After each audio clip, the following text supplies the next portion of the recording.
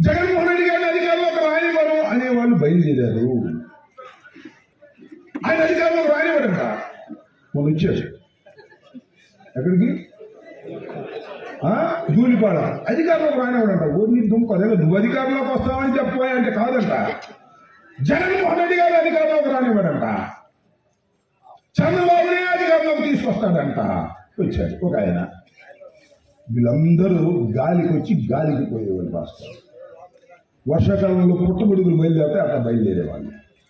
వచ్చిన అంతం తాగాడా మందన్నాడు కాపుల గుండెల్లో కుంపటట. మాట్లాడాడు ఆయన. అంతేకాదు నేను ఎవరో మహిళ దగ్గర రెండున్నర లక్షల రూపాయలకి కప్పుర్తి పడ్డానట. నేను శవాల మీద పేలాలు ఏరుకునేవాడంట అమ్మాయి నేను మీ అందరికీ మనం చేస్తున్నా. సుమారుగా నేను వచ్చి పది సంవత్సరాలు అయింది ఇక్కడికి. పది సంవత్సరాలు అయింది. గతంలో చూశారు నన్ను ఇప్పుడు చూశారు నన్ను. నేను శాసనసభ్యుని అయ్యాను మంత్రిని అయ్యాను. నేను డబ్బుల కోసం కక్కుర్తి పడుతున్నానో లేదో మీ మనసులకు తెలుసు. ధర్మంగా న్యాయంగా వెళ్ళాలనుకునేటువంటి వ్యక్తిని. డబ్బులు అవసరం లేదా? కావాలి. ఎక్కడ కావాలో అక్కడ వస్తాయి డబ్బులు. ఈ కక్కుర్తి పడాల్సిన అవసరం. నేను ఎంతమందికి పెన్షన్లు ఇచ్చాము ఎంతమందికి సీఎంఆర్ఎఫ్ ఇచ్చాము జగన్మోహన్ రెడ్డి గారి చేతుల మీదుగా అక్కడి నుంచి వచ్చినటువంటి లక్షల రూపాయలు నేను సీఎం సహాయం నుంచి ఇచ్చినటువంటి సందర్భాలు ఉన్నాయి. చాలా నా ఆఫీస్కి తీసుకున్నది ఎవరి దగ్గర ఒక పైసా కక్కుర్తి పడ్డానా నన్ను పట్టుకొని ఆ మహిళ చేత డబ్బులు ఇచ్చిన ఆ చేత చెప్పించి నేను అలా డబ్బులు కక్కుర్తి పడేవాడు అనేటువంటి మాట మాట్లాడి దుర్మార్గమైన ఆలోచన చేస్తున్నారు. చిత్రం ఏంటంటే ఇక్కడ పవన్ కళ్యాణ్ వచ్చి మీటింగ్ పెట్టి చెప్తారు. ఇంకో ఆయన ఉన్నాడు. ఎవరైనా? చంద్రబాబు. అక్కడ ఉంటాడు. ఎక్కడో? అక్కడ ఉన్నాడు. అమ్మ రాంబాబు ఆంబోతు.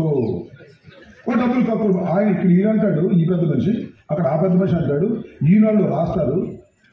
ఆంధ్రజ్యోతిలో పోస్తాడు. జనసేనలు ఊరేగింపు చేస్తాడు. ఏదో విధంగా ముద్ర వేయాలి అంబటి రాంబాబు మీద. అని. నేను మనవి చేస్తున్నా నా మీద ఎవ్వడు ముద్ర వేయలేడు. నన్ను అపాసుపాలు చేయలేడు ఎందుకంటే కాసుగా ఉన్నటువంటి వ్యక్తిని అయితే ఒక ఇబ్బంది ఉంది. చంద్రబాబును నేనే విమర్శిస్తా చాలా సందర్భాల్లో పవన్ కళ్యాణ్ని నేనే విమర్శిస్తా ఈనాడు రామోజీరావుని నేనే విమర్శిస్తా అదేవిధంగా రాధాకృష్ణ నేనే విమర్శిస్తా. చాలా సందర్భాల్లో నేను విమర్శించినంత ఘాటుగా వైఎస్ఆర్ కాంగ్రెస్ పార్టీలో ఎవరు ఎందుకంటే కాసుగా ఉన్నటువంటి వ్యక్తిని అయితే ఒక ఇబ్బంది ఉంది.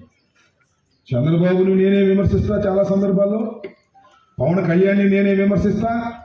ఈనాడు రామోజీరావుని నేనే విమర్శిస్తా. అదేవిధంగా రాధాకృష్ణ నేనే విమర్శిస్తా. చాలా సందర్భాల్లో నేను విమర్శించినంత ఘాటుగా వైఎస్ఆర్ కాంగ్రెస్ పార్టీలో ఎవరు విమర్శించరు కాబట్టి నా మీద కుట్ర చేసి నా మీద ఏదో ఒక విధంగా మసిపూసి మారేడికాయ చేసి నా మీద బురదలాలని ప్రయత్నం చేసే ఈ దుష్ట చతుష్టయాన్ని మీ అందరి సహకారంతో అలా ఎదుర్కొంటారు పెద్ద లెక్కలేదు నేను తల కిందులు పెట్టి పైన తపస్సు చేసినా సరే నన్ను ఏమి చేయలేదని కూడా మనం చేస్తున్నా. ఎందుకంటే దృఢ సంకల్పంతో ఉన్న వ్యక్తిని మీ అందరికీ తెలుసు రాజశేఖర రెడ్డి గారు చనిపోయిన మొదటి రోజు నుంచి జగన్మోహన్ రెడ్డి వెంట నడిచిన ఏ కైక వ్యక్తిని నేను నన్ను ఎవరు ఏమి చేయలేదు కాకపోతే నాకు కావాల్సింది మీ దయ మీ దాక్షిణ్యం మీ ప్రేమ మీ అభిమానం. ఒక్క చోట కూడా గెలవనటువంటి పెద్ద ఆయన ఇక్కడికి వచ్చి నేను శవాల మీద పేరాలు ఏరుకున్నానంటాడు కాపుల గుండెల్లో కుంపడంటాడు జగన్మోహన్ రెడ్డి గారి అధికారంలోకి రానివ్వనంటాడు నువ్వు గెలిచాబడించవా ఒక్క నియోజకవర్గం అయినా అప్పుడు చూద్దాం. ఎక్కడికి వెళ్ళి రెండు చోట్ల ఇచ్చి డాములు పెట్టారు ఆయన వచ్చి జగన్మోహన్ రెడ్డి గారి అధికారంలోకి రానియట ఓటు చెల్లియట చంద్రబాబు నాయుడు కాళ్ళ మీద పడి ఆడమన్నా నేను చెప్తా. అదేమంటే మా వాళ్ళు ఉన్నారు కాపులు.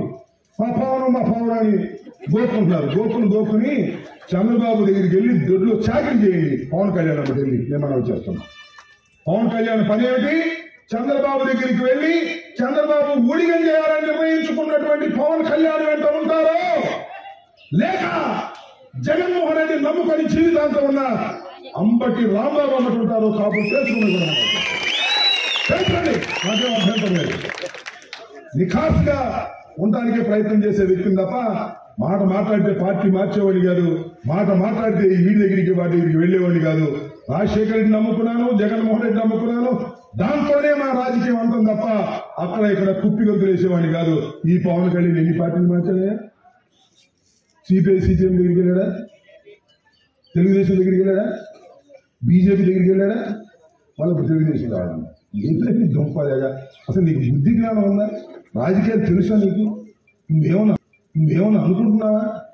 అదే అంటే తెల్లాలి అయితే జగన్మోహన్ రెడ్డి గారిని ముఖ్యమంత్రి కానివ్వను. వైసీపీని అధికారంలోకి రానివ్వను. ఓట్లు చేయనివ్వను ఏమంత పెద్ద మొగోడి నువ్వు? నీకుంది ఊరులే కదా? మా కాపులేగా అమాయకుడిగా? ఫోన్ తీసుకెళ్ళి చంద్రబాబు దొడ్డు కట్టేద్దామనే? ఇంపాసిబుల్ అని కూడా ఈ సందర్భంగా మనవి చేస్తూ